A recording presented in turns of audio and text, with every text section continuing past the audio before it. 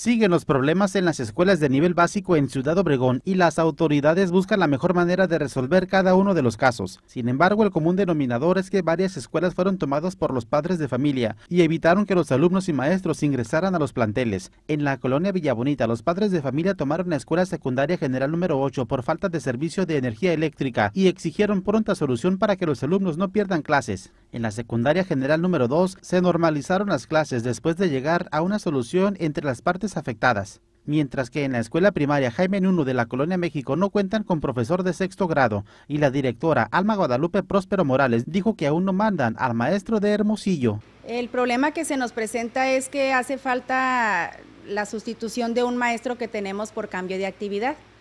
El maestro asignado a ese grupo presenta un problema de salud, por lo tanto tiene un cambio de actividad y el maestro que debe de venir a cubrirlo, pues no los han mandado de, la ciudad de Hermosillo, que es la secretaría a la que le compete esto.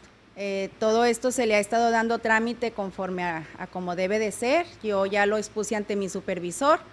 Él a su vez fue a la jefatura de sector, que le corresponde la jefatura de sector 4, pero no hemos tenido respuesta de Ciudad Hermosillo. La directora funge también como maestra interina de sexto grado y pidió a los padres de familia que tengan paciencia. El trámite se realizó y falta respuesta de Hermosillo. Imágenes y edición de Iván Lara.